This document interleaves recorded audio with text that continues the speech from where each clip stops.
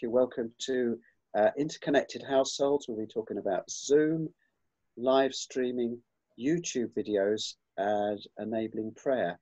And as we've been talking about in our conversations, this isn't necessarily about having the key to the technology, because it may well continue to be in your church that there is somebody else who actually manages the key and pulls it all together. But this will allow you to have the ability to lead worship in that situation. And, it, and if you are going to be the person who uh, might be pulling uh, all that together, then this will help you uh, as well. So, according to uh, our poll results, most people have, for one reason or other, have not led a Zoom service, or maybe been they've had a little part in a Zoom service, which is lovely. They may not have led, or may not have done live streaming, and certainly not done uh, you, uh, YouTube. Although we've got a significant minority who've actually done a an a, an important input to YouTube, which is very important. And I think most of us would just like to learn a little bit more. So just first of all, I'm going to step back and say, oh yeah, sorry, I'll jump on a bit. I'm first of all going to explain that um, there's an important limitation about Zoom. That it was designed for office meetings. Meetings. It wasn't designed for church. I know it sounds obvious, but it was designed for uh, big companies where you have an office in New York and London and uh, Mumbai and that sort of thing. Uh, it was designed where offices have got very good internet speed. It was designed for speech, uh, that has another limitation. And it has a focus on tools for productivity, which means it's incredibly good at things like everything you want for a really good meeting. So if you want to have polls which tell the speaker uh, what you know, that's good. And if you want to be able to share information in different ways, that's really good as well. Uh, so there's things like that which you might say, oh yes, but we're not a we're not a business. Uh, we're not going to do that. Uh, so it's just to be aware that that is the plus, but it's also the minus uh, in your situation. It works really well if you're in, let us say, here's an example. We've got the Holy Spirit Church in Big Town with Pastor Joe McCool. they are all people based in Big Town. They've all got good internet speed because they're fairly close to the node. Every town has a, an internet node in Brentwood, where I live, it's in the old post office office, uh, GPO office, and that's off and away. Uh, in this cool Holy Spirit church, they're all, everybody's got tech experience with all the different techno platforms. They're all up on, they're like young people, they've all got lots of experience there. They've got a big worship team. Everybody plays instruments. It's wonderful. They like expect to have videos. They expect to have a very uh, cool experience. And they're used to, like I heard in um, a church recently, they said, uh, as soon as they finish the work, the church, the service in Zoom, they go into breakout rooms, they meet new people, they have their coffee in the breakout rooms. It's an incredibly enabled experience. Now, what about the reality? Okay, St Mary the Less, Little Puddlewick, where the internet speed is pretty poor. And a lot of people have no computer skills or no computer. They're very lonely and they lack relationship. So they really like to be part of something. But what does this mean for Zoom services?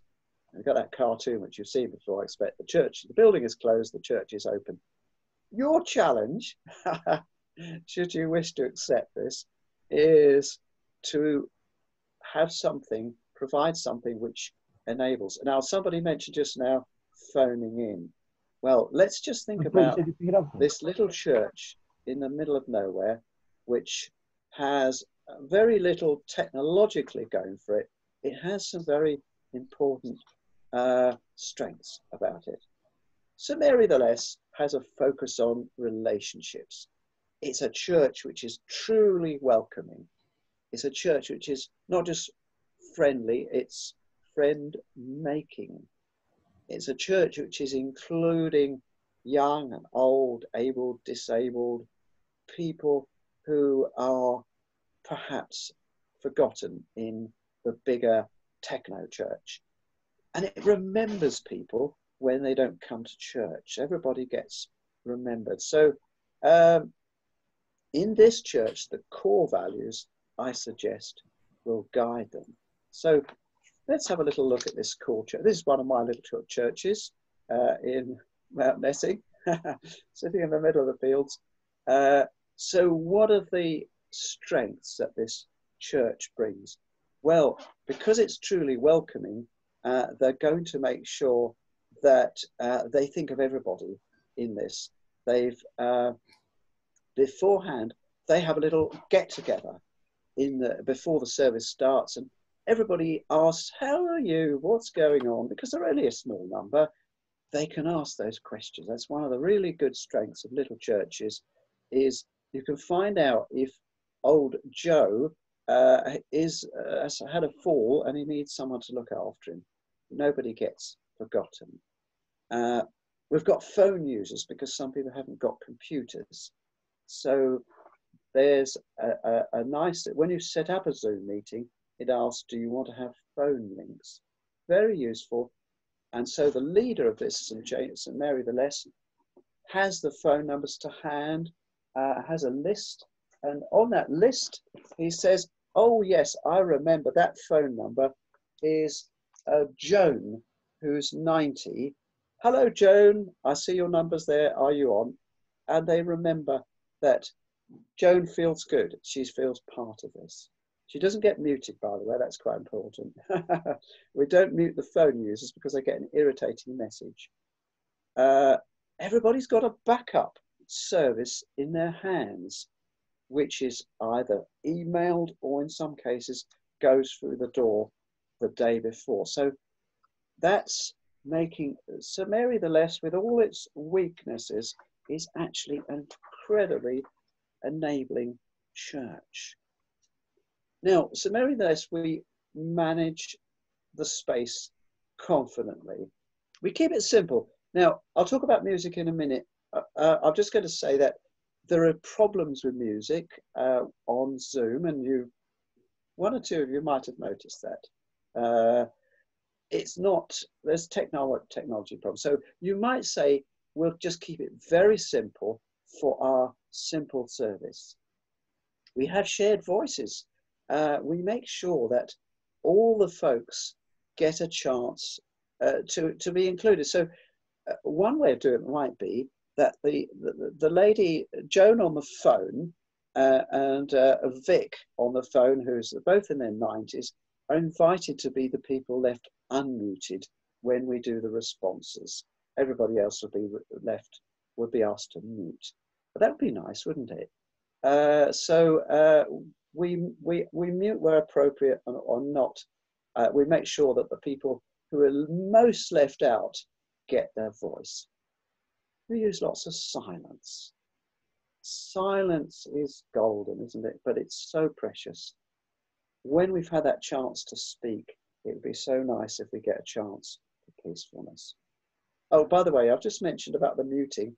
Uh, picture a case, you recognize the man in the middle.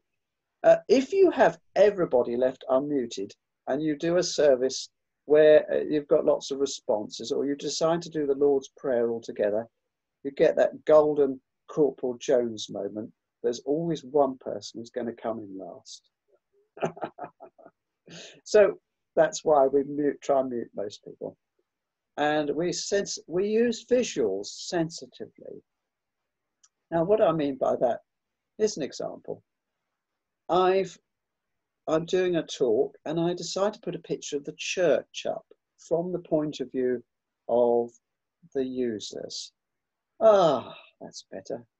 Somebody thinks I can concentrate on the reading now because they feel safe they feel that actually this is the one place they miss at the moment. So if you don't like doing visuals, maybe you could just do one visual of the church, just showing the view from the pews, and you'll be surprised. People will say afterwards they felt they could concentrate. Isn't that funny? That's the one thing because they're in the safe place. Now, you may want to, I, I would encourage you to use visuals, uh, but try and think about them a little bit. Uh, here's an example of a really rubbish visual Solomon's Dream. Wonder if you've noticed uh, what's wrong with this. Well, we've got some rubbish fonts, we've got some big ones with small ones. I deliberately placed one of them underneath your pictures.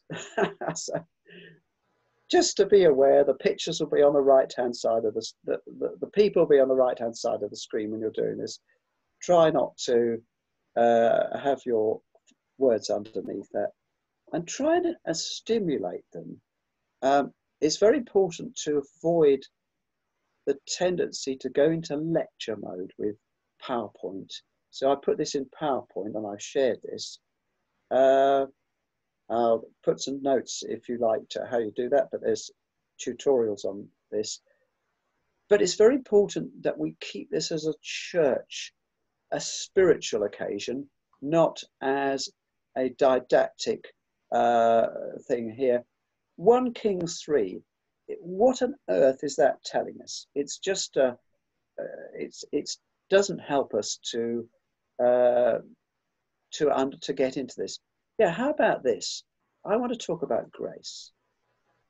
How can we describe God's love? Leave a pause. We let them think about that. I wonder what this picture is telling us. We might even invite comments, even. But just to think for a moment, what does this picture tell us? It's an open question, and it invites us to reflect on. Well, this is a, it's a beautiful place, but there's a sense of graciousness. There's a sense of abundance. There's a sense of peace.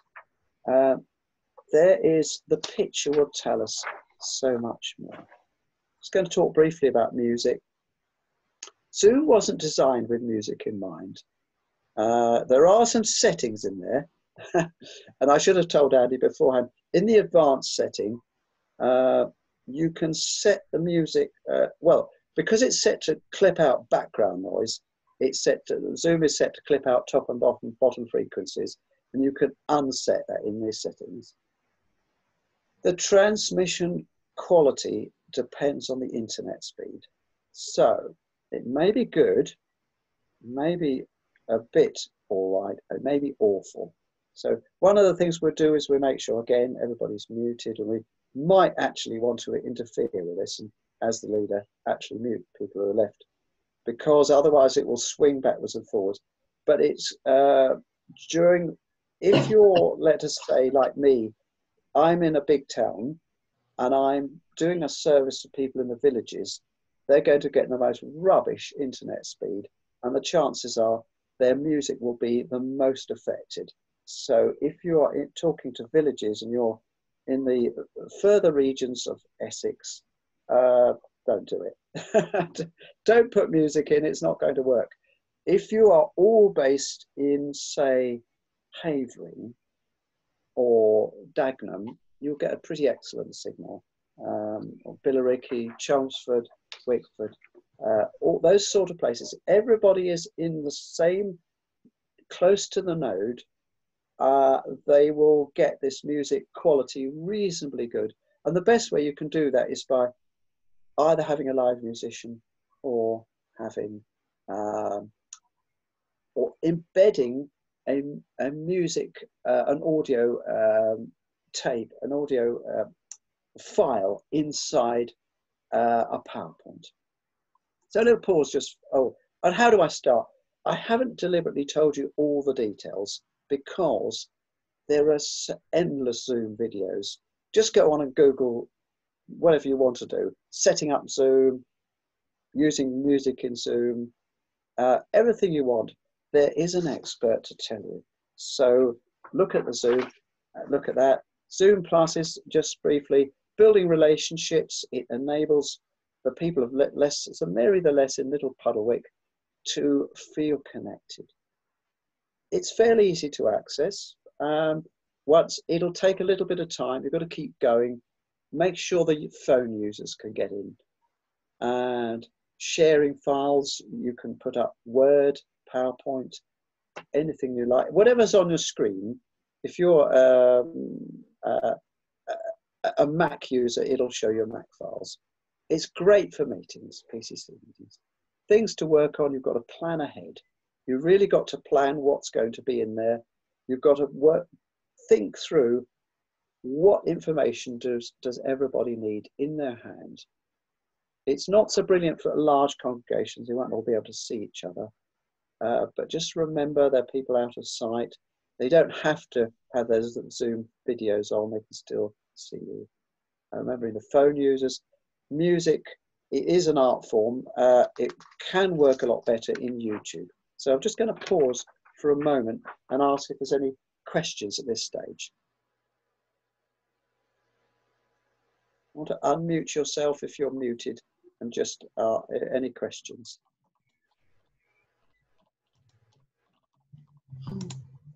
Yeah, I was wondering about the telephone. How do you, there seem to be lots of phone numbers. How do you know which is the number to use and where do you find them to tell people okay. about?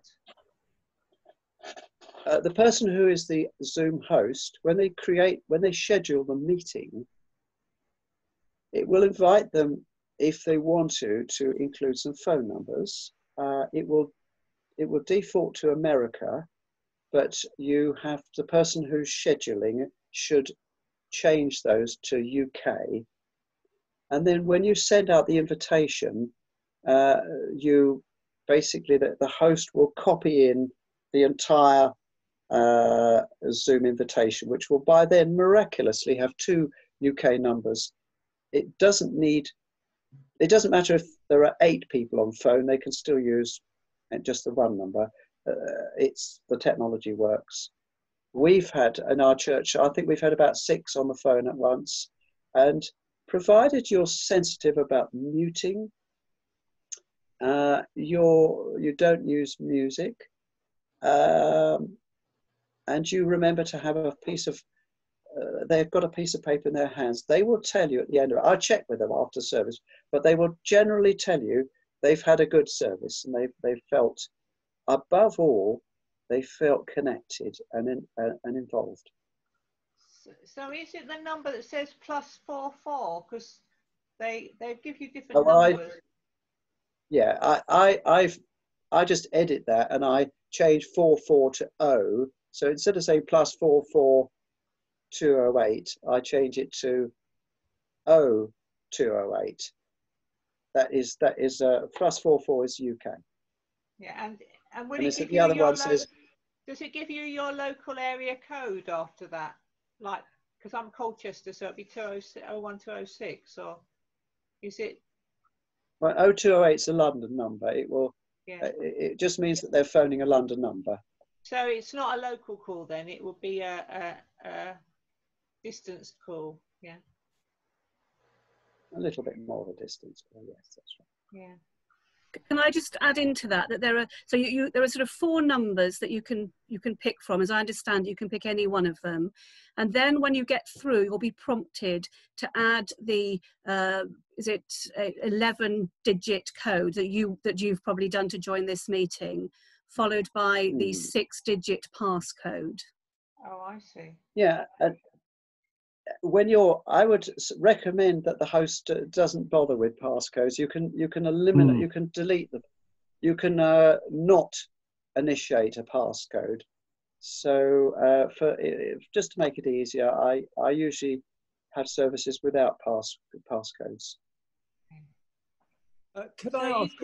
sorry, sorry, just to, just could you like experiment by setting up a Zoom meeting for like someone in your own household to sort of phone into if they were in another room, you know, just to see if it works. it works. Is that possibility? You can do. Yes, you can. Yeah. Yes, that okay. works. Yeah. And uh, what I will do occasionally, if I've uh, if I sense that, let us say there's an elderly person who's got a computer, they're struggling with it, uh, and they've not been able to use it satisfactorily, I would and that set up a Zoom uh, conference call with that person the day before and to make them feel that uh, we can solve the problems together. We'll talk it through and get it working for them. Yeah, yeah, I've, I've actually done that. I've helped a few people to actually get onto Zoom, but this is more for yeah. the people who haven't got the, the technology. Yeah, thank you. So I was just going to ask if you're not usually the host and the vicar says to you, well, you can use you can use the church Zoom to set up a course. Do I just join as a host, sign in as a host, and if so, do I need any special password for that? Because it would be the church's uh, Zoom, not mine. Okay, so the host should set you up as a co-host. It right. is possible during the course of the call to change the host, or uh, but the, the host should really set you up in advance as co-host and then you'll get the bottom the, the button at the bottom which says share. Right. So i'm just going to stop the share now because I, what i want to do now is uh, is pick up uh, another uh, zoom video and uh, um, let me just whoops uh, let me just find my second Zoom video because we're going to talk about uh, live streaming now. Uh, right, that's not the one. It's live streaming. Okay. And I'm going to set it to. Uh, so all of these things, the it's a good idea to prepare for it in advance uh, to so that you uh, you've seen a, a video, you've seen a, a tutorial, and with that tutorial, uh, you feel that you've that somebody's talked you through it. It's not it's not uh, it's not difficult to for them to do that. Okay, uh, just a moment. From right. Now I, this is where my my computer at this time is struggling a little bit with something I should have thought of, which was that actually um, that actually uh, uh, because I'm using PowerPoint, uh, I'm using Office 365. It's using it off the internet. yeah. So uh, because of that, it's struggling a little bit to to work. So let me just uh, I want to get this onto uh, from okay from the beginning. Okay, streaming through Facebook. That's when we talk about live streaming. We're talking about Facebook. It's it's the, the same thing. Live streaming is is if you like instead of uh, I would say the analogy being instead of a, a, a, a meeting where everybody's involved, live streaming is a broadcast. It, live streaming, so uh, it is using a facility on your phone uh, to enable uh, a one-way broadcast. It's very straightforward. But a lot of churches started out with this at the very beginning and then uh, decided to move mm-hmm. on to more complex things. So very low technology. Uh, well, it's your phone. Uh, it's setting up a Facebook account for the for the churches. There's not very much involved in the way of learning it. Can reach lots and lots of people if they've been told about to watch. You've probably heard extraordinary stories of churches where they've somehow got connection with uh, some community. In Ingatestone, where, where, we do live streaming, um, somebody in the community was quite fascinated by this and then rebroadcasted or tells everybody uh, through the local community site. And we had unbelievable amounts of viewing, uh, at least in the early days, hundreds and hundreds of people. Uh, the location's important because people like it's what it's important what they see on live stream. So here's the technology. You need a Facebook page. You uh, will need to make sure that hopefully your church has got one. Not all of our churches have got Facebook pages, but if you've got one, it's very simple. Go onto the Facebook uh, when you're looking at your mobile phone, it invites you to share something. and then invites you to go live. You need a mobile phone. You need a tripod. Now, tripods uh, come in, they're not expensive. They could be as little as 15 pounds or something, but you quite honestly can't be wobbling around with this. and most of you have got uh, looking at this on laptops, which hold you nice and secure. Hopefully, your phone with a tripod will do the same sort of thing. Awesome. Yeah. Setting up the church Facebook page is not technically hmm. difficult. It's a bit of a journey. It does help if you're a Facebook person, if you if you like Facebook. And this is an important question for your church. Are they Facebook viewers? Will they watch? Are they the Facebook generation? If they're not, because they're younger and they use TikTok, or if they're older and they just they're they're terrified of Facebook, then uh, this might not be ideal. But on the other hand, you just might get an audience with a lot more people who you could not imagine. So when you do a service through through this, it's really helpful to think about what will it look like to people outside. So we prepare the ground. We we prepare the ground, getting the Facebook page ready. Before the services, we put up a nice visual that says something's coming up on Sunday. If you have permission from your community, you might have some sort of a graphic thing. You don't want to overdo that because obviously your community will chuck you out if you don't. Uh, how are you going to advertise it? How are you going to how are people going to know about this? You need to think about that. Uh, how would, what's the view from the pews? Now, surprisingly, this view, this is in one of our churches, it may not look attractive, but it will make the people in the church feel incredibly enabled and makes them feel they're in the right place. They, they feel very relaxed when they see this at home, comfortable. So it might be good to have your uh, your Facebook stream from the, as it were, the view from the pews. So you're standing in front, just like a normal service. Uh, you might want to make sure that it looks better. Uh, some flowers. So uh, that's not a very attractive picture. How would I improve on it? Sound. If you're going to do live streaming in church, you, it's a good idea to switch on the sound system to get the volume up to the right level. If you're going to do your live streaming at home in your favorite armchair, you don't need to do that. In fact, in some ways, you can do, I'm sure you've all seen nice Compline services done from home. That works well. You can, now, one of the nice things about live stream, you can do music really, really well. You can have that lovely, peaceful piece of music. Instead of saying, well, I'll ha- I won't have a hymn, I'll have uh, a CD next to me Oh, how lovely. That could be beautiful. That could be some lovely, peaceful music. So instead of singing a hymn, you might say, What I'm going to do is I'm going to play a piece of reflective music. What a lovely service that could be.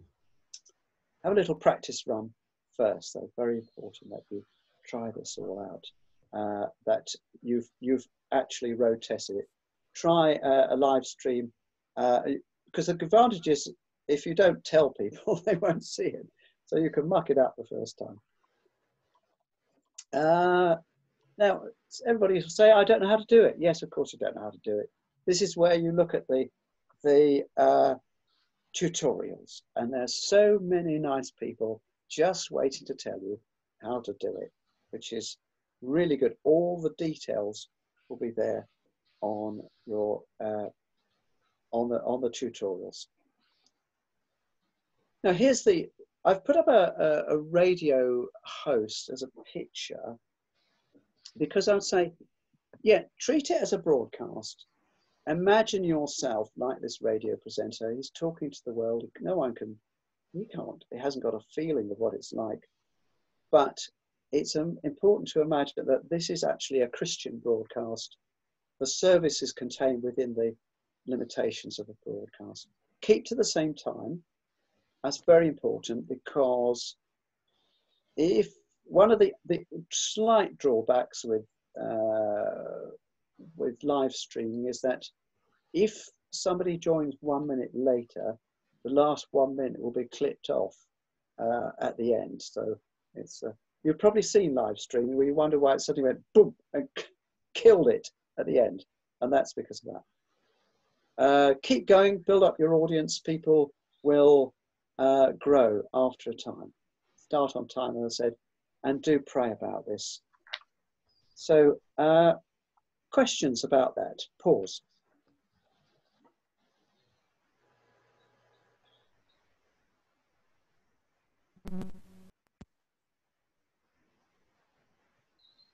Anyone Can I like ask a- unmute and sorry. say- Can I ask a question that's slightly not related to that bit? But if we use in the bottom um, where it says participants, you can raise your hand.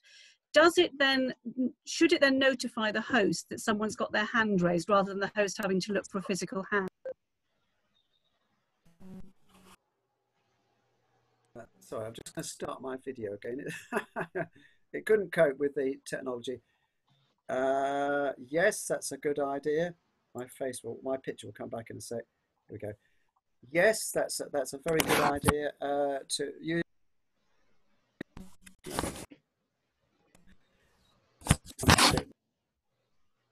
It's used. It's just the camera. uh, yes, you can do the hand. Did you Zoom thing? Yeah. Sorry, Tim, I didn't quite catch what you said there.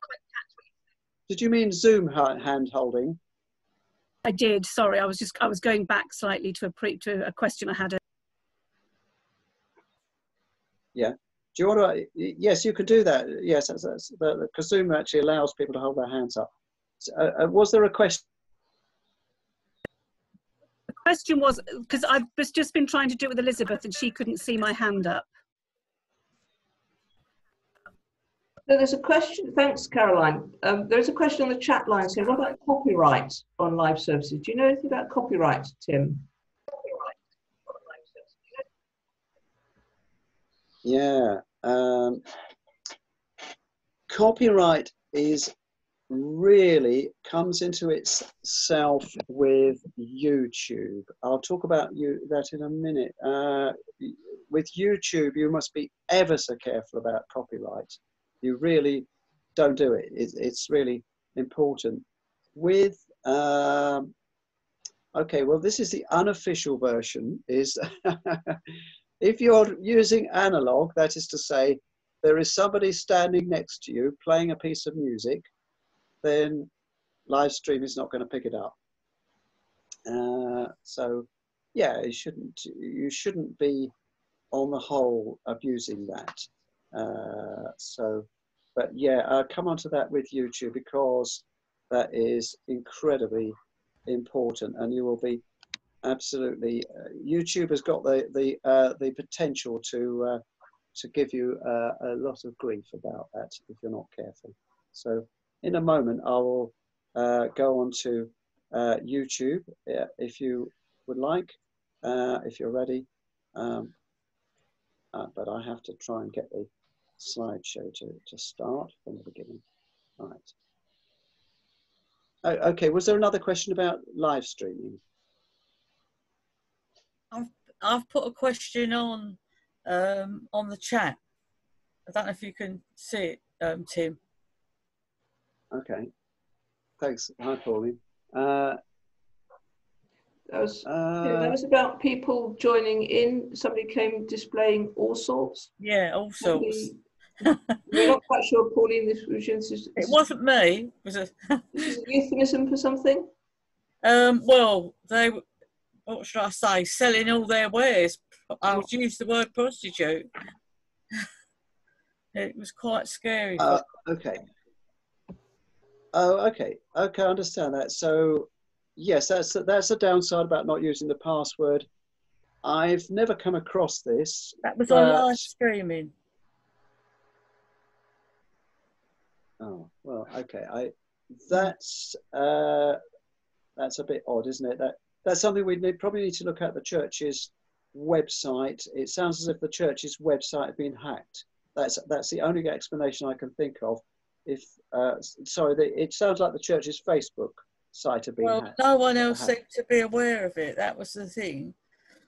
Um, that was Okay. what, know. Anyway, perhaps I've just thrown a big something in at you, but you know, I mean, you know, you wondered about their own security on their own computer, but um, you know, you couldn't believe that they'd been looking at anything that they shouldn't be looking at at other times, type of thing. But I can't seem to get through. Well, Zoom with Zoom, you know, you lock people in, don't you? Um, you got your password, and I know there were some security issues with it initially, but um, you know, so th- the, they won't use Zoom or anything, so it's a bit of an issue, really. So I just thought I'd ask. Yeah. Okay. I don't think there's anything that you could do which is specific to using um, the, the, the, the technology for worship. It's just good computer security. Mm, yeah, It's just it's Yeah. kind of a personal issue in in many ways. Yeah. yeah, yeah. Okay.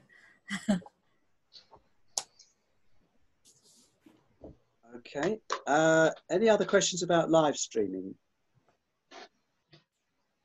If not, Can I'm going to talk ask about. Yeah. people?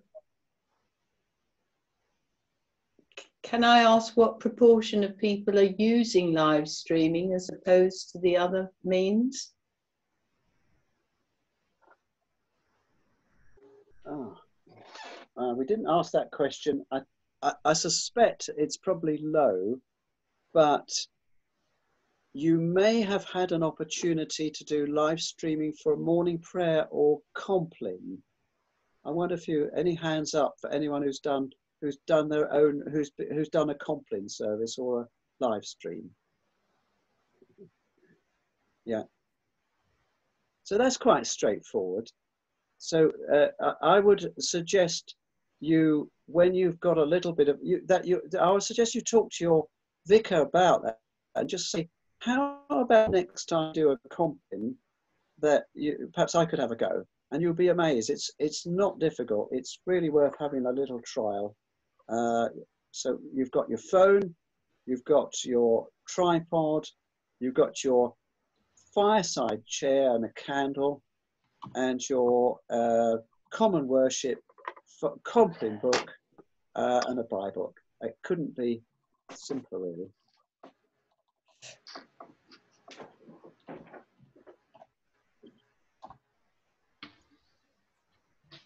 Okay, so yes, saying your live stream. We'll talk about yeah, live streaming improves the practice. Thanks, Jan. Yes, that's right. Live stream. You will get confidence uh, through using Compline, uh, morning prayer, whatever other weekday services that you do.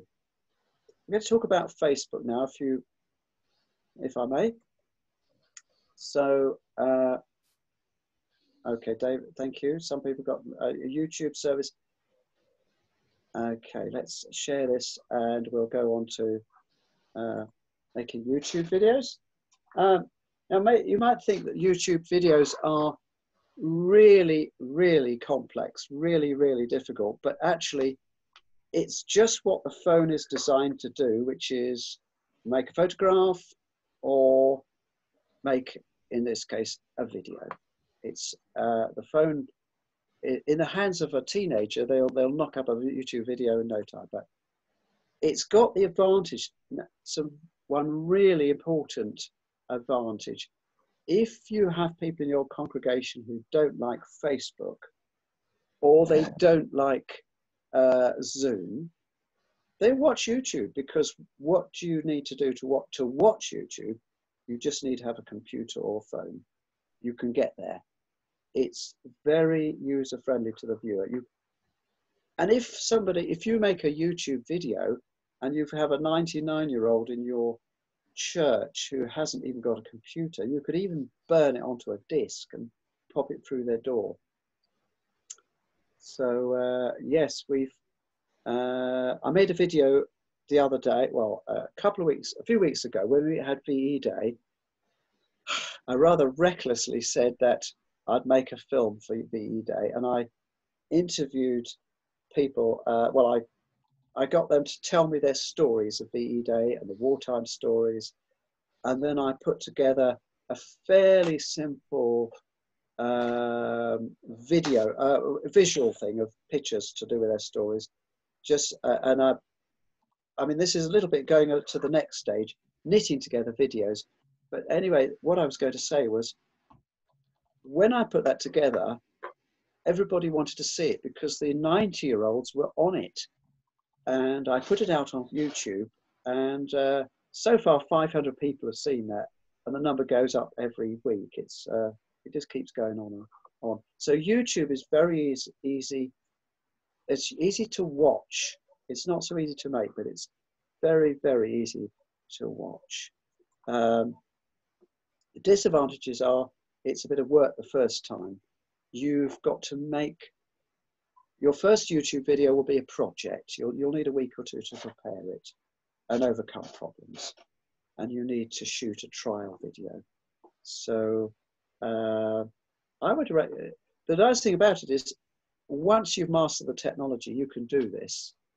You could do uh, a nice sermon and then the vicar knits it together, or you could be the one to knit it together not too difficult really, but you you'll it is a project. You've just got to uh, to imagine that it's going to take a little bit of time. There's lots of tutorials out there. But very important questions. Who's the audience? Will anyone ever see it? Now, I started by making uh, some YouTube videos where I thought I'd just do a talk and I would do a, an interesting talk and I aimed at my Facebook friends, who include my family, who don't go to church, and other friends, ex work, who don't go to church. And they were the most enthusiastic. so that's interesting thought. Quite a lot of people saw those. And I've done ones which are exclusively aimed at church. People do whole services put knitted together and they work really, really well. Then you've got the music on and so on. So, is it, but be aware it might if you don't have a clear idea of what you're doing, then not many people will see it.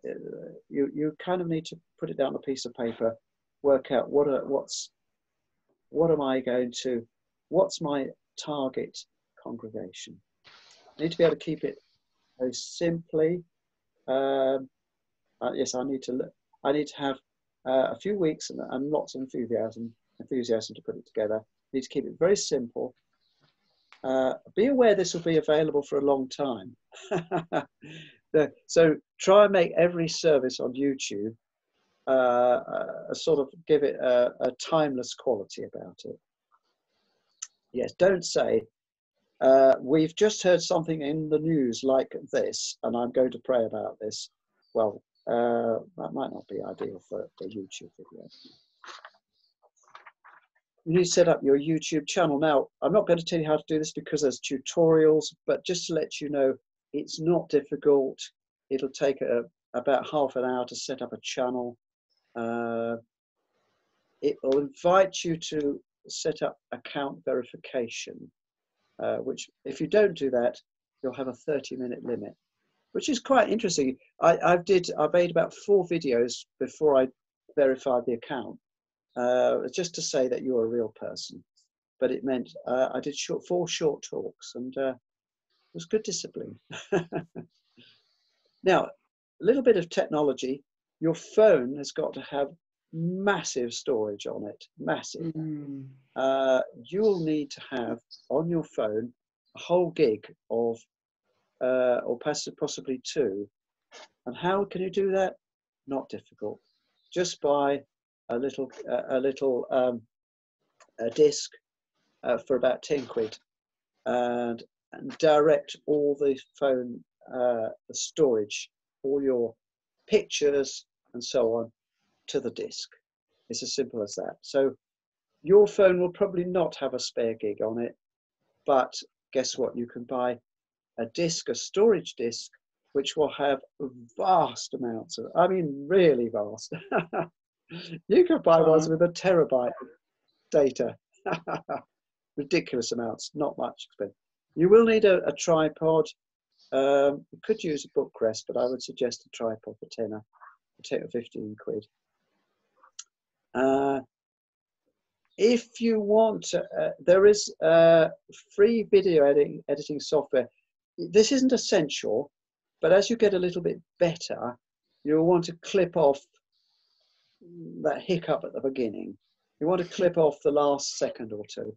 But for the beginning, does it matter? No, not really. It, it's not essential, but your teenage family members will do video editing on their phones with a simple free app called Quik. It'll just enable you to clip off the embarrassing bits or and knit together other things. So amazing, the teenagers seem to be able to, while they're watching television, edit a very passable, passable YouTube film. You could always get them to do it for you.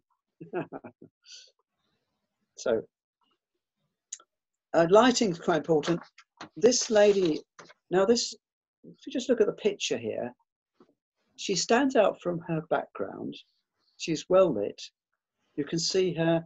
She actually, uh, her whole uh, image is very uh, pleasing, and that that's been achieved with some uh, fairly low cost lighting. In the lower picture, there's me with uh, there's actually what's called softbox lighting. I, I spent about forty pounds on that, and I've got two large uh, fold-out uh, lights on. They're actually on tripods, uh, so you might want to consider as two-point videos.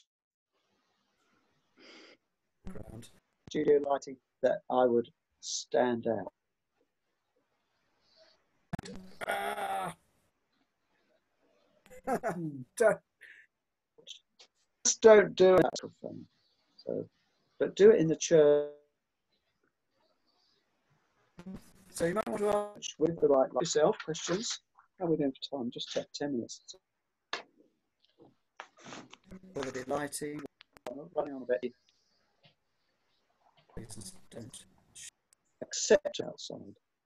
Um, put together your talk on paper, scout out the venue. Again, check the view from the pews. It's most comfortable to have the view from, from where you're aiming. Too many clever Easter canvas, just sort of do a step. What equipment will I own? Uh, afternoon. Printing on your phone. If you want to do more complex, perception 15 about. I did this for day and it's I have to you can uh, uh,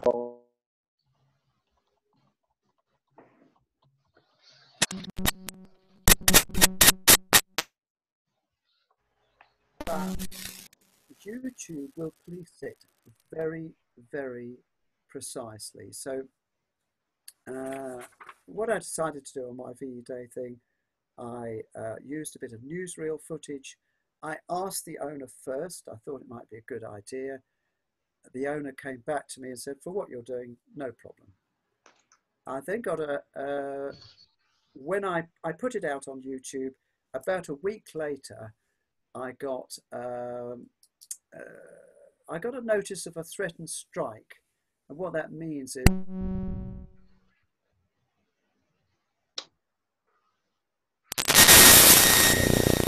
They thought I Yes, I, I, I am I'm afraid we've lost Tim, Tim's sound at that point. Um, Tim, thank you very much if you can still hear us.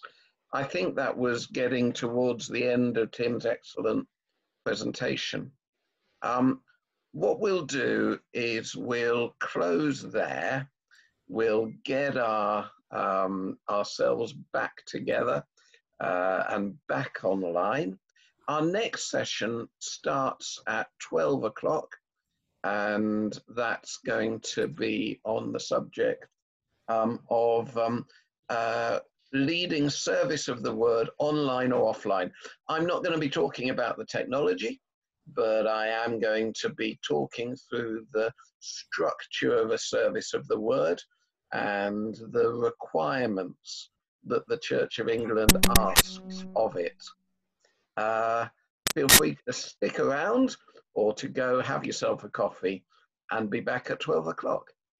Thank you. Thank you. Thank you.